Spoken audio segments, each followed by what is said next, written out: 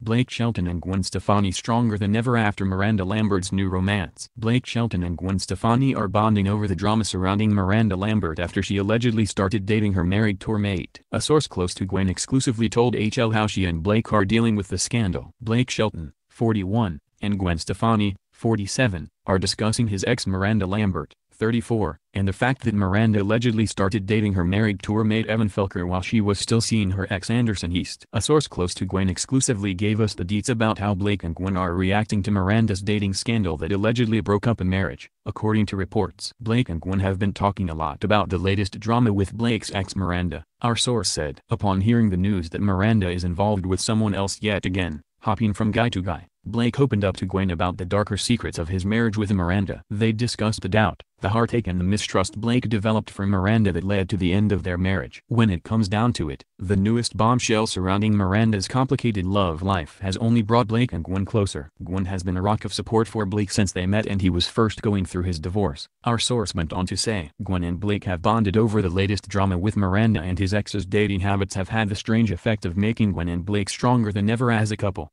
Blake seeming threw shade at his ex on Twitter, writing, been taking the high road for a long time. I almost gave up, but I can finally see something on the horizon up there. Wait, could it be? Yep, it's karma. Blake and Miranda split in 2015 amid rumors that she might be hooking up with her then collaborator Anderson. While Miranda and Anderson made their relationship official a few months later, Blake appears to confirm that this rumored affair may have gone down with his recent post.